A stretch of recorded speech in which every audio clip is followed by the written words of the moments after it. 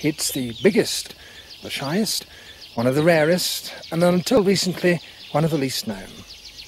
The gorilla.